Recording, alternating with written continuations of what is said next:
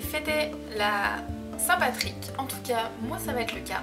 Je me suis donc habillée tout en vert pour l'occasion, mis également des petites boucles d'oreilles vertes, des petits bracelets verts et j'ai fait un maquillage tout vert aussi. Si vous voulez savoir comment j'ai fait, je vous montre dans la vidéo qui arrive.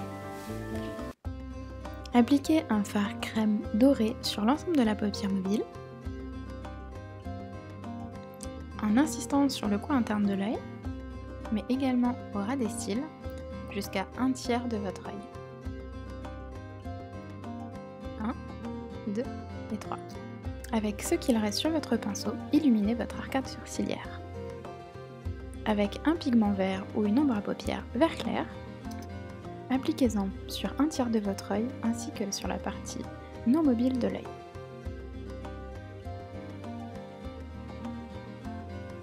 Avec un vert bien plus foncé, faites un trait sur la paupière non mobile et estompez vers l'intérieur de l'œil pour que les deux verts se mélangent. Procédez de même sur la paupière mobile. Pensez à estomper correctement pour qu'il n'y ait aucune démarcation.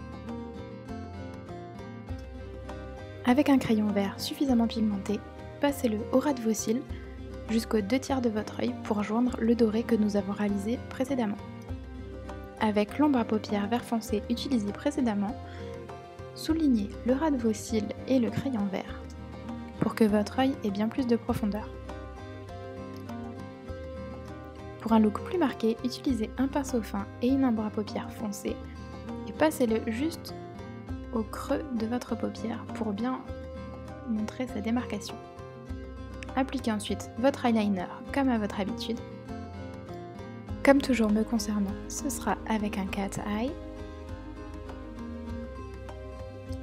Appliquez également un trait horizontal à votre œil pour un look un petit peu différent, sachant que ce n'est pas tous les jours la Saint-Patrick. Pour finir avec la poudre, époustez tout ce qui aurait pu tomber. Accentuez votre regard avec du mascara sur les cils du bas, mais également sur ceux du haut.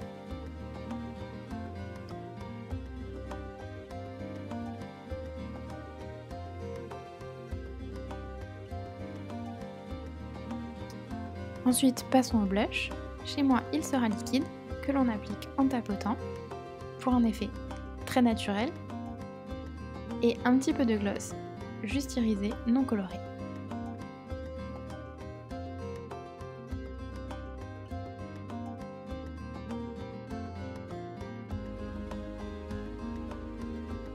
J'espère que ce maquillage vous aura plu et à bientôt pour la prochaine vidéo.